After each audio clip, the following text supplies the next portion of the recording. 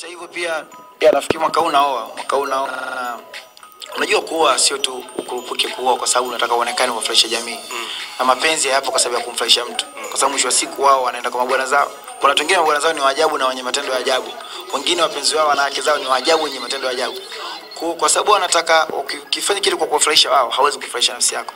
Mapenzi kufurahisha nafsi yako wewe, ili ufanye kitu kilicho bora. Yeah. So na nafikiri mwaka huu naoa. Mm, na ndio maana nikamwambia mama naoa ili nikufurahishe kwa sababu mamangu yeye hapendi kuonekana mwana kama mtu wa kutangatanga unajua ile. Yeah. Eh, na mimi kichonikuta bro mimi bana Mwenyezi Mungu ajalie nimebatika kuwa maarufu bana rafiki yangu nikiwa mdogo. Hapo sio mdogo sana lakini mimi nimetoka na miaka 20 nafikiri sio 22 Yeah. au nafikiri eh, 20 Around ndio nimetoboa. 20 Eh, 20 nimetoboa. Utoboaji wangu mimi nimetoboa kweli kweli bro. Mm. Kwa ina maana Alafu nimetokea Tandale, kuna vitu nikosia kutana navyo bro. Ah, unapokutana navyo vipi? Ah, nishaviona sana kwenye TV ndugu yangu. Mm. Ah, lazima nipite navyo. Mm. Sasa ikawa vitu kama hivyo na nini. So sometimes unaenda unakuwa, ukishakuwa na unaanza kubadilika sasa. Uh, tofaa tuna watoto sasa hivi Mm na tunajaribu kucope na hiyo hali japokuwa sometimes inakuwa ngumu kulingana sana yetu. Yeah. Lakini vingine vinakuwa sio vya kweli vya uongo. Kwa mfano nikuambia kitu kimoja. Mm. Mimi nategemea mziki. Kitu cha kwanza changu mimi ni mziki. Kama kitu cha kwanza ni mziki, yani labda wananchi pia wasikie na waelewe. Mm. yani mi tegemea siku yoyote utaniona kwenye niko na wanawake kwenye pati kwenye nini. Ndio maisha yangu alionifanya wao wakanijua. Mimi sio mwanasiasa mi sio daktari mi sio mbunge mimi ni mwanamziki nafanya entertainment. Na entertainment zangu za kuimba nyimbo nyimbo zangu mi nimebezi kwenye za mahusiano. Ndio kwenye video zangu kukumbatia watu usoni la kawaida.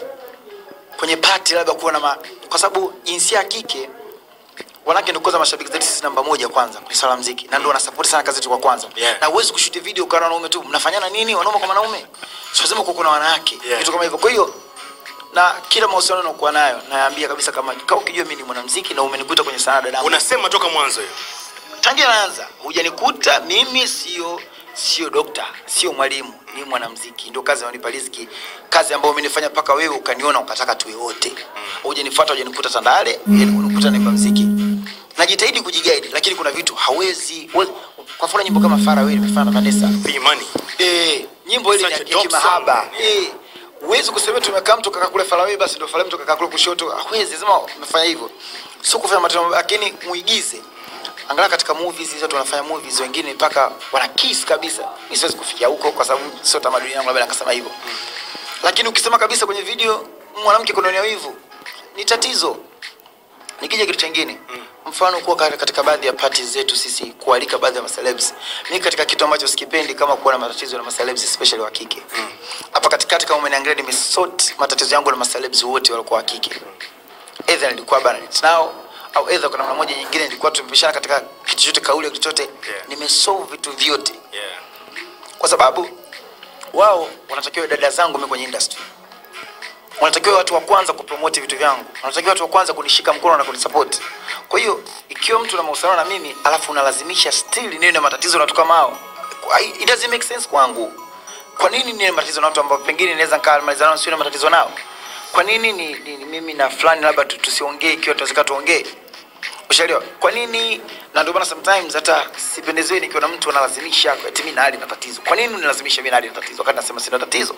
Ya vitu kama hivyo. So ni ni namna watu watakiwa waelewe kwa mimi ni mwanamuziki na muziki ni entertainment. Entertainment inahusiana wanawake na wanaume. Yeah. Haimaanishi kufanya matendo mabaya ila kaka ni niko nao kila siku mpaka kufa kwangu mpaka siku ndio siimbi. Yeah, hapo kwenye alikuwa na matatizo ni eh, upepo ulichafuka pale ambapo alipotoa Seduce Me, wewe ukaja ukatoa Zilipendwa Yeah. na WCB, alafu pia yakaanza yale maneno kwenye Twitter pamoja na kwenye ile fresh remix kunifananisha mimi na Cinderella haiwezi kuwa fresh na vitu vya namna hiyo, sijui pensi za Pepe Kale. Hapo ndipo watu sasa walipigia mstari kwamba kuna tatizo, though wewe leo unasema kwamba hakuna matatizo. Yeah. Uh, unajua kwenye vitu vyovyote inawezekana kitu kisiwe kina matatizo. Sometimes watu wakiwa wanatia chokochoko kati yenu. Sometimes kama wanadamu pia inakuja zinawa provoke. Alafu najikuta sometimes na nataka muingie kweli sasa kama aka hivyo yani. Lakini sometimes kikaa mnaona kama sina watu wazima wenye akili sasa kwa nini? Alafu najikuta timu na mnaonekana mnagombana kwa afu wanafaidika watu wengine. sio kwa unanielewa yani. Mimi mnatengenezwa mgombane afu afaidika watu wengine. Kwa sababu mimi kugombana hadi nisaidi chochote kwenye maisha yangu. hainiongezee chochote. Hainipunguzi chochote. Ah, Kwa nini nifanye hivyo sasa? Kwa nini nigombane na, na, na, na mtu yani kwa naona ah, kwanza hapa kwa mfano nilikuwa kwa juzi na ah, sio na nani kwa naongea naye. Yani kwamba mimi mwaka tangia nimeuanza nimeuanza katika mazingira kwamba yoyote mwenye tatizo naye mimi na cancel kabisa na huwa. yani walikuwa tatizo na mimi. Tena naonyesha public kabisa kama huyu sina tatizo naye nifuteni Hizo ndo resolutions zako za mwaka huu. haiwezi haiwezi kunisaidia bro Mm. alafu kuna vitu vingi vya kufanya na kuacha katika jamii katika vijana ambao wanataka kuimba katika hii sanaa Mm. kuonesha kama sisi tulipata nafasi tukaitumia vizuri kwenye kukuza sio kwenye kupandikiza chuki Mm.